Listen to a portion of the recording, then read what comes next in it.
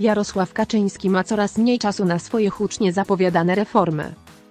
Już w przyszłym roku czekają nas kolejne wybory parlamentarne, a drugiego Budapesztu, jak nie było, tak nie ma.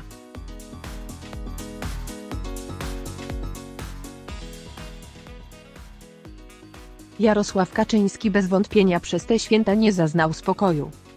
Sytuacja w kraju dla jego partii politycznej jest wręcz w opłakanym stanie, a przez to prezes PiS ma twardy orzech do zgryzienia.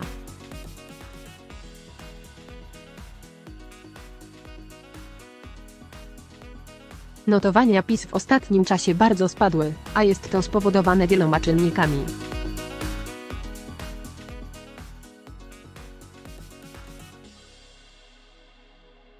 Opozycja czyha na każdy jego błąd, przez co święta dla prezesa PiS bez wątpienia nie były spokojne.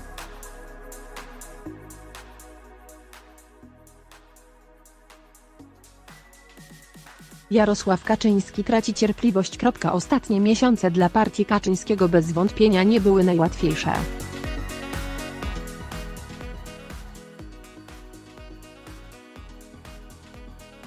Już od trzech lat PiS sprawuje władzę w naszym kraju, a wielu zapowiedzianych zmian z czasów wyborów jak nie było, tak nie ma.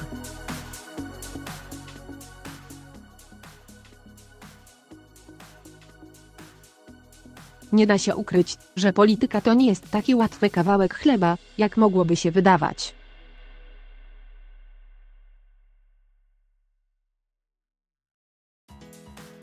Obietnice składane podczas wyborów często bywają nad wyraz rozdmuchane, przez co ich późniejsze spełnienie jest zwyczajnie niemożliwe.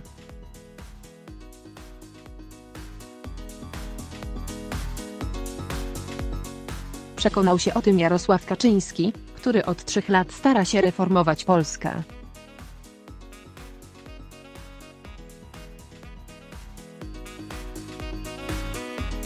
Ustawy i reformy wprowadzone przez PiS spotkały się w większości z bardzo negatywnym odbiorem ze strony społeczeństwa.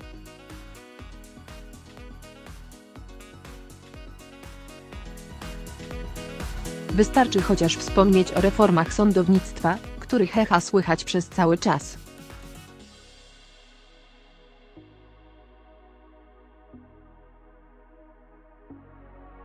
Tym wypadku Kaczyński musiał się ugiąć pod presją Unii Europejskiej, co zahamowało jego dalsze plany.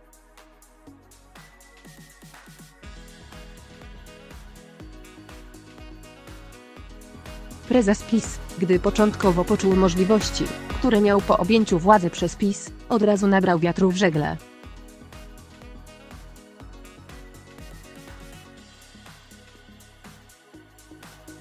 Jednak teraz okręt ten ledwo sunie po tafli wody.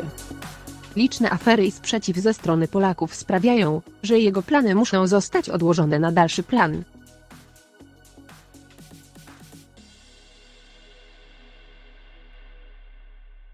Kaczyński zapowiadał, że zrobi z Warszawy drugi Budapeszt, jednak do spełnienia tej obietnicy wiele mu zabrakło.